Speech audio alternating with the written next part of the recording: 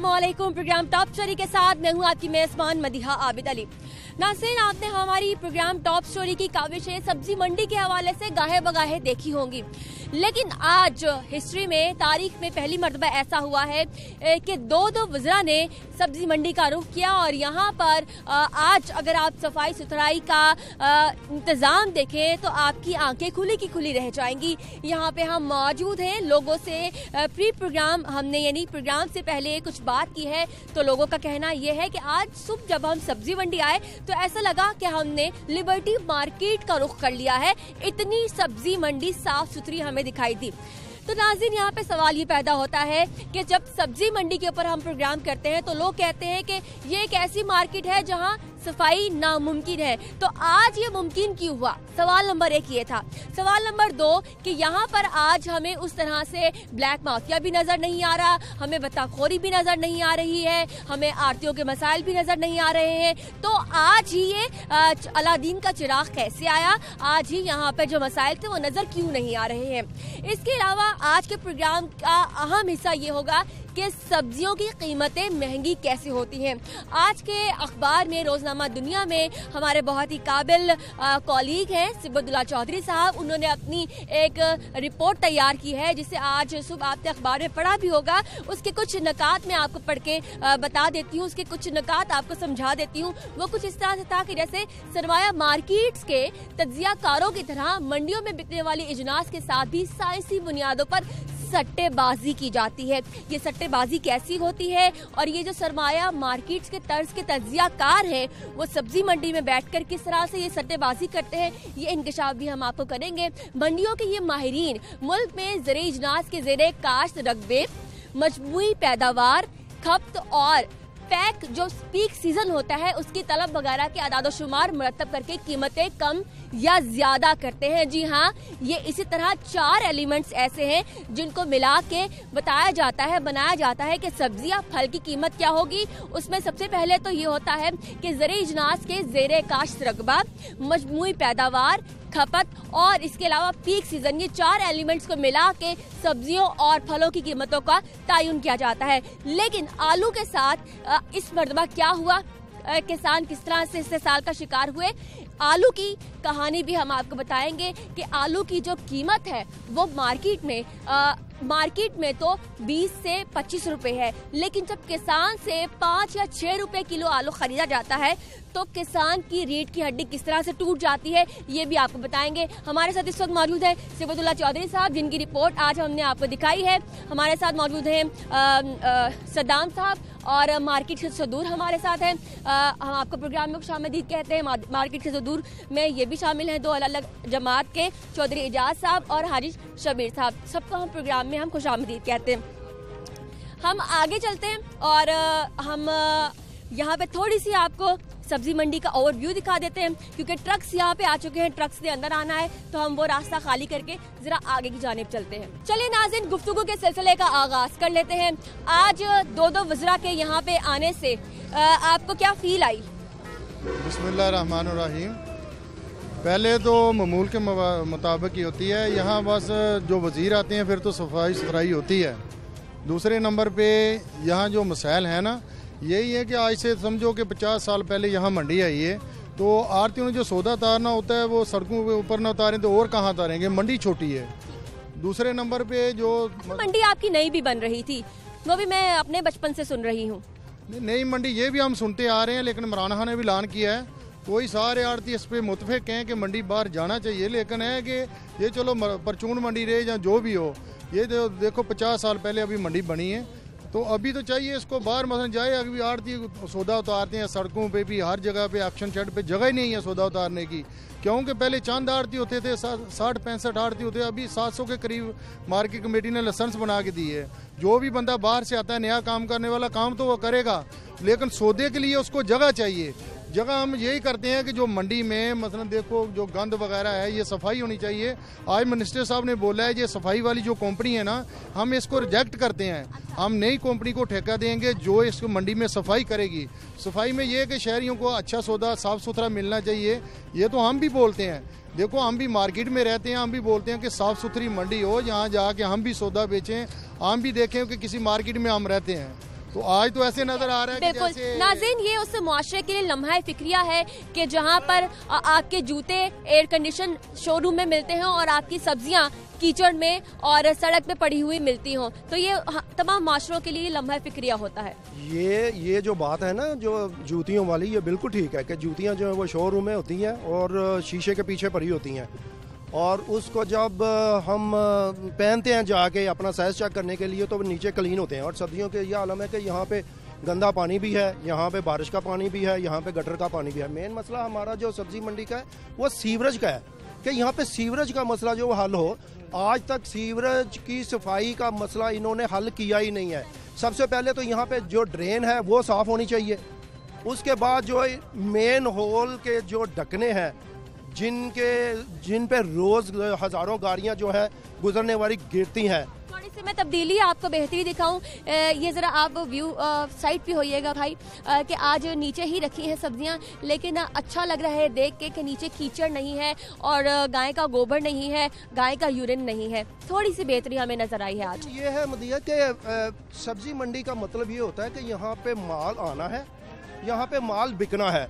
यहाँ पे अगर आप कहें ना कि यहाँ टोटल सफ़ाई हो तो टोटल सफ़ाई जो है ना वो तो लिबर्टी मार्केट में हो सकती है यहाँ पे नहीं हो सकती। ये ये जो बात थी ये मुझे भी अपने प्रोग्राम में सुनने को मिली है। कुछ नाकदीन ने कहा कि आप सब्ज़ी मंडी की सफ़ाई के पीछे पड़े हैं सब्ज़ी मंडियों में सफ़ाई नहीं हुआ करती तो आज कैसे हो गई सफ़ाई? ये, ये अच्छी बात की आपने सब्ज़ी मंडियों में सफ़ाई होती है लेकिन ऑप्शन के बाद होती है। नाजिन अब जब बात ही कर लेते हैं जो प्रोग्राम के इब्तदाइया में मैंने आपको बताई थी की जो सब्जियों के रेट्स है वो उनका तयन किस तरह से होता है और एक टैग लाइन जो आपने सुबह के अखबार में पढ़ी है द रोजनामा दुनिया में कि सब्जियों की कीमतें ज़्यादा कैसी होती हैं। तो सिब्बत साहब को आप शामिल गुफ्तु कर लेते हैं। सिब्बत साहब वो अ, कहते हैं ना चार अनासर मिलते हैं तो बनता है मुसलमान। तो वो ये चार अनासर मिलते हैं तो सब्ज़ी की कीमत कैसे महँगी होती है उसको उसका हम अगर दूसरा पहलू देखें तो वो क्या होगा? जी, बिल्कुल मदिहा, हम थोड़ा सा इस पे आने से पहले थोड़ा सा इसका बैकग्राउंड भी हम बता दें। थोड़ा सा पंद्रह बीस दिन से हम आलू के हवाले से जो क्रैश कर गई है मार्केट और जो बहरान चल रहा है, इस पे हमने प्रोग्राम भी किए, वज़ीर ज़रात को भी हमने इसके साथ लिया, आपने अपने प्रोग्राम में डिस्कस किया। आज का ताज़ा तरीन ये थी कि उसमें पूरा एक वैल्यू चेन डिस्कस किया है कि एक जो एग्रीकल्चर प्रोड्यूस है, जो ज़रूरी जिन्स है, वो अपनी पैदा, अपना पैदा होने से मार्केट में आने तक थोक रिटेल परचून की सतह पे जब आती है और जब एंड कंज्यूमर तक पहुँचती है तो वो किन किन मरहल से गुजरती है। उसका प्राइस मैकेनिज्म जो है ना बुनियादी तौर पे वो डिस्कस किया गया है जिसमें सबसे ज़्यादा कसूरवार जो है ना वो आरती माफ़ी है। ये बड़ा ज़ुबान जदे आम है। चोई साहब अभी काफ़ी जज्बाती माफिया तो ना ना बोलें आप ऐसा ना ना करें। आड़ती माफिया कैसे होता है? देखो एक मंडी में जिम्मेदार लेके सौदा आता है। आरती का काम है हज़ारों बंदे खड़े होते हैं जिसने बोली डालनी है उसके नाम सौदा तीन कर देना है। आगे ज़मीन जाके दुकानदार ने बेचना या दूसरे तीसरे ने बेचना मेरी बात सुनो मैं खुद मैं आरती है ना उनकी भी माशाल्लाह खुश पोशाकी नज़र आ रही है उनकी हालत नज़र आ रही है। और यहाँ पे वो जो आरती हैं वो फाटे पुराने कपड़े पहन के आ जाए यहाँ पे। ऐसे नहीं है ऐसे नहीं है। मेरी बात सुनो मैं गोभी की बात करता हूँ बात अच्छा, सुनो। मैं बंद गोभी कहती है जब गंदम खरीदते हैं? जब गंदम खरीदते हैं बोलती है? ये कहते हैं कि हमने आरती सवाल ही पैदा नहीं हो सकता आरती कैसे माफिया हो सकता आड़ती है माफिया कहती है आरती देखो एक बंदा आता है उसके पास एक रुपया नहीं होता वो तेरह सौ रुपए। तेरह सौ रुपए तेरह तेरह तेरह सौ रुपए कैसे हो जाता है? मन गंदम जो है। आरती ने कहा था गवर्नमेंट ने मेरी बात सुने जब प्रेस लाई की गवर्नमेंट कैसे हो सकता है सवाल ही पैदा नहीं हो सकता। दामन छोड़े तो फरिश्ते वज़ू करते हैं। ये तो यही कहने नहीं, नहीं, मेरी बात सुनो ना, हैं, पिछले- जो है जो इसका जो एग्रीकल्चर प्रोड्यूस 1979 का जो एक्ट है उसके नीचे जितने एसओपी लिखी है बताएँ ये पूरे कर रहे हैं उसमें? मेरे अरे मेरे से पूछे जी मेरे से पूछे। पूछा मैंने आपसे सबसे पहले बात यह है कि परवेज उलाई साहब के टाइम में यहाँ पे इन्होंने एक कंपनी बनाई थी धारा बनाया था पैमको और उसका मंसूर आफीन जो है ना था वो उसका चेयरमैन बना था। तो इन्होंने कहा था कि हमने जो किसान लेके सब्ज़ी आएगा ना उसको हम बाहर भिजवा देंगे आपके पास नहीं आएगा। हमने कहा आप अपना शौक पूरा कर लें। जब वो आए आके जिम्मेदार ने अपना माल बेचा तो उसने कहा कि मुझे नगद पैसे चाहिए। ये सुने जरा बात आप कहते हैं ना आरती माफिया उसने कहा मुझे नगद पैसे चाहिए। किसी के पास नगद पैसे नहीं थे। ये हमारा दिल है इनका दिल है जो कि हम उधार सब कुछ देते हैं। तो तो नगद पैसे किसानों का किसानों का किसानों का इस्तेसाल करके नगद पैसे आपके पास आए। आप आप आ जाए ना आप आगे करें ना। साल करके इनके पास नगद पैसे अच्छा साहब एक बात बताइए। हमारे एक सवाल सुन लीजिए एक सवाल सुन लीजिए। मैं खुद किसान हूँ ऐसी कौन सी बात है है? एक सवाल सुन लीजिए सिब्बत साहब उसका जवाब मैं आपसे जानना चाहती हूँ। एक फोतगी हो जाए तो वो कहते हैं कि पैसे अच्छी भिजवाने हम देते हैं इसीलिए देते हैं ना कि उनको उसकी जिन्स का उसकी दुआएँ करते हैं उसकी दुआएँ करते हैं मक्का मदीना जाके। या अल्लाह देते हैं ना। हो जावे। भाईजान जिस टाइम देखो। अच्छा ठीक है। अच्छा सिब्बत साहब का ये कहना है कि जो एक किसान पूरा साल फ़सल उगाता है उसके घर भी फौतगी हो जाए तो ये लोग उसकी गमी या खुशी में पैसे देते हैं। सिब्बत साहब सवाल मेरा ये है कि किसान हमारे मुल्क का जो किसान है क्या वो बाउंडेड लेबर है? ये तो खुद एतराफ कर रहे हैं ना चौधरी इजाज साहब कह रहे हैं कि उनके घर में कोई खुशी आ जाए कोई गमी आ जाए वो हमसे पैसे लेते हैं। हमने उनको एडवांस पैसे दे के बाउंड किया होता है वो खुद कह रहे हैं हमारी बाउंड नहीं नहीं ऐसी बात नहीं है बात सुनो बात तो ये सुनो पढ़ते हैं कि बात किसान सुनो। जो ज़मीन का सीना किसान को- गला उगा रहा है। यानी वो इनकी बाउंड्री लेबर है। चार साल पहले चार साल लेता है, बीज के। पहले आठ सौ आठ हज़ार रुपए की बोरी थी आलू की ना ठीक है?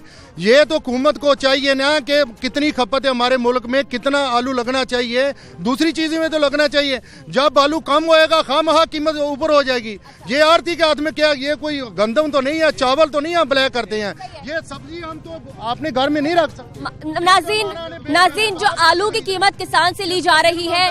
किसान से जो उसके आलू की कीमत ली जा रही है वो पाँच रुपए फ़ी किलो है। नहीं नहीं पाँच रुपए पाँच रुपए। इस वक्त आज के दिन मंडी में कितने का सौदा होगा? आलू की ये को आलू कोई 600 की बोली बिकी है कोई 800 की बिकी फ़ी किलो बताइए फ़ी किलो बताइए।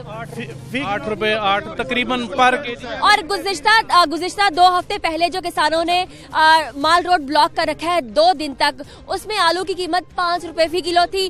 तो नाजिन अगर किसान से पाँच रुपए फ़ी किलो आलू खरीदा जा रहा है। तो आपकी और मेरे घर अट्ठाईस रुपए पच्चीस रुपए किलो क्यों जा रहा है? बताइए। नहीं हम तो नहीं खरीदते आलू हम तो बेचते हैं आलू। हम तो खरीद नहीं करते, खरीद तो करती है वाम।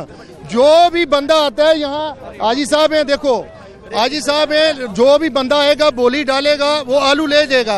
आगे जाके दुकानदार पे कंट्रोल करना, हुकूमत का काम है, हमारा काम नहीं है। हमारा तो काम है यहाँ एक्शन पे सौदा बेच देना। बताइए हुकूमत का काम है। जो किसान है, मर गया। मर गया किसान। और सब कुछ बेच दिया, जायदादें बेच दी और अपने ज़रात की ज़मीनें बेच बेच के शहरों का रुख कर रहे हैं। किसान के साथ इस तरह से ही सलूक होता रहेगा तो हमारे मुल्क में क्या किसान का बेटा किसान बनना चाहेगा, जिस तरह आज क्रिकेट, क्रिकेटर का बेटा क्रिकेटर बनना चाहता है? देखिए मदिया दे- मदिया बात ये लीव देंदी है हुकूमत किन्ना ते साथ चाहिए ना हुकूमत को चाहिए ना ये दे। ये टमाटर अभी दस महीने बाद सुनो। अभी टमाटर जो है ना टमाटर हम बोलते हैं दस महीने हो गए टमाटर दो सौ ढाई सौ रुपए की पेटी बिक रही है। ठीक है? यहाँ आरती ने क्या करदार किया है? मैं आरती महँगा कर सकता है? जब फ़सल ज़्यादा होगी तो इतने के बिकते रहेंगे। बात यह है कि फ़सल ज़्यादा होनी है कम होनी है इनके अदादोशुमार इनकी टिप्स पे होते हैं। अब ती, तीन चार माह बाद जब रमज़ान आएगा तो लीमू देखिएगा जिस जिस चीज़ की तलब चक्कर होता है। वो बिल्कुल बेकाबू हो जाएगी ऐसे ही होगा। ठीक है ना रमज़ान रमज़ान के आते ही टमाटर ना बैग। रमज़ान के आते ही अ, नींबू ना पैद डिमांड पे होती है जो मार्केट का मैकेनिज्म है ना वो मेरे भाई को भी समझ में नहीं है। भाई जो समझा रहे हैं कि हम जो आड़ती हैं वो किसानों को फैसिलिटेट करते हैं कर्जे देते हैं उनके साथ कमिटमेंट होती है तो मुझे मेरा भाई ये, ये रीजन बताए ना। एक एक इंसान जिसने ज़मीन का सीना चीर दिया एक इंसान जिसने मट्टी से सोना पैदा कर दिया वो इस्ते- इस्तेहसाल का शिकार क्यों है? इसका जवाब दे मुझे। ना असल मैं खुद किसान हूँ। सौ एकड़ आलू मेरे अभी तक लगे हुए हैं ठीक है? मैं बोलूँगा कि मंडी में कम बिके मेरे आके मंडी में आलू बिक रहे हैं। ऐसी बात नहीं है। हम कुछ भी निकाल डीसीओ साहब कैप्टन सुमान साहब आते थे।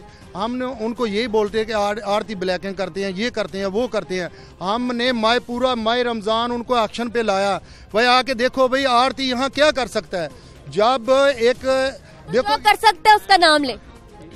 कोई भी नहीं दुकानदार कर रहा है उसको हुकूमत का काम है ना काबू करना। जो महँगाई कर रहा दुकानदार भी नहीं कर रहा। देखें आड़ती अगर उसकी गाड़ी किसान की आएगी वो पाँच लाख की बिकेगी उसकी पच्चीस हज़ार या पंद्रह हज़ार बीस हज़ार कमीशन बनेगी।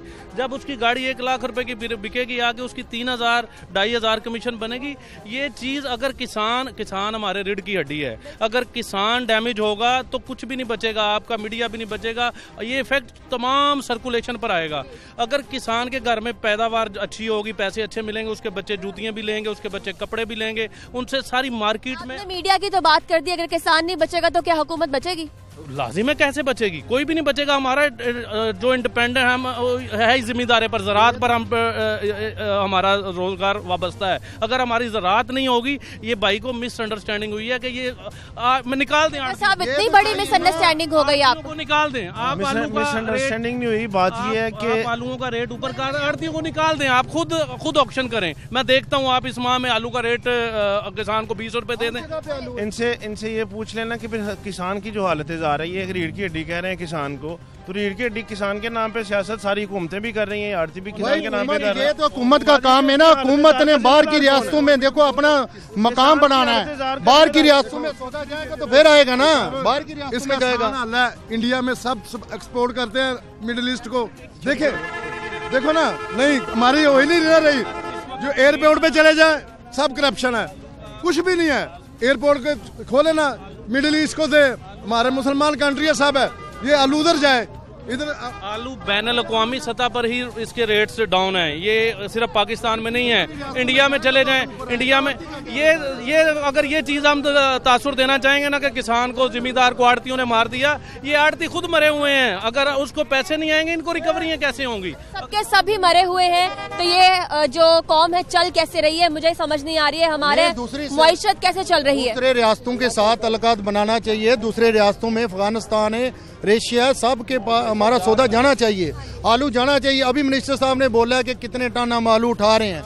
माना आलू उठाएँ, आलू देखो ना मंडी में आके आप खरीद सकते हैं। जो मर्ज़ी बंदा आके खरीद सकता है, हर दिनों तो एक्शन करनी होती है। यहाँ तो ब्लैक नहीं कर सकता, आरती। देखो, सब्ज़ी कोई भी स्टोर नहीं होती। कोई सब्ज़ी स्टोर नहीं होती, आलू के बगैर। को एक सजेशन देते हैं कि जिस तरह ये गंदम को खरीदते हैं, गंदम भी हमारे साल में एक दफ़ा, एक एक साल की, एक दफ़ा फ़सल है, उसको हम पूरा साल खाते हैं। आलू भी एक साल में एक फ़सल है, इसको हम पूरा साल कोल्ड स्टोरेज में भी रख सकते हैं। गवर्नमेंट अगर गंदम खरीद रही है तो ये एक अच्छे रेट पर जिम्मेदारों को दस रुपए या आठ रुपए उसके खेत से उठा लें आलू और कोल्ड स्टोरेज में कर लें और उसको जैसे भाई कह रहे हैं रमज़ान में महँगा होगा रमज़ान में इतवार बाजारों में बेच लें मार्केटों में बेच लें तो किसान भी बच जाएगा और बात ये कि चालीस लाख टन गंदम खरीदती है पंजाब हुकूमत और एक सौ ती, एक, एक सौ तीस जो है ना वो उस पर अरब रुपए की लागत से ये खरीदी जाती है पंजाब हुकूमत के बजट से ये खरीदी जाती है। इस सारी कैंपेन के दौरान ये छः हफ़्ते की कैंपेन होती है, उसमें बार बार यही लफ्ज इस्तेमाल किया जाता है कि किसानों को आड़तियों और मिडल मैन से बचाने के लिए हुकूमत ये इकदाम कर रही। ठीक है ना? नाजिन किसान की आवाज़ हम बने हैं। छोटी सी ब्रेक लेंगे। ब्रेक के बाद हमने आरतियों की आवाज़ भी बननी है और मंडी के जो ताजिरान है हमने इनकी भी आवाज़ बननी है। लेकिन छोटी सी कर लें आप मंडी को ओवरटेक कर लें। गवर्नमेंट को बोलें कि यहाँ पे कब्जा कर लें आके ताकि आड़तियों का बेड़ा गर्क हो जाए। आड़ती यहाँ पे कोई होगा ही नहीं। जो किसान आएगा वो खुद ही आरतियों की आवाज़ मैंने बननी है। आरतियों की आवाज़ अब बनेंगे। किसान की हमने आवाज़ उठाई है आरतियों को और सब्ज़ी मंडी के ताजरान को। क्या मसले हैं और शहरियों को क्या मसाइल हैं? ये ब्रेक के बाद डिस्कस करेंगे। हमारे साथ रहिए।